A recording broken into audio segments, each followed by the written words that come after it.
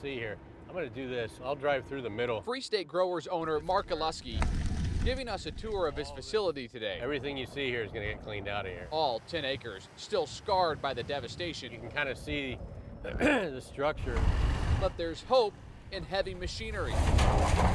Cleanup crews have been hauling mangled metal from the buildings almost non-stop the past couple of weeks. Once we started actually clearing some space and moving some product around, and everybody really, I think everybody, all the employees included, management, everyone started to feel like now we're starting to go somewhere. Even through this destruction, the tornado spared some plants. So we were able to get a little bit of product actually out of some of these, but if it was uh, in any way, shape, or form too dangerous, we didn't want to go any deeper. Yeah, we've got a few other. Those salvaged plants, along with employees working to plant even more by hand, has kept Free State growers up and running. We're still in production and we're actually still shipping.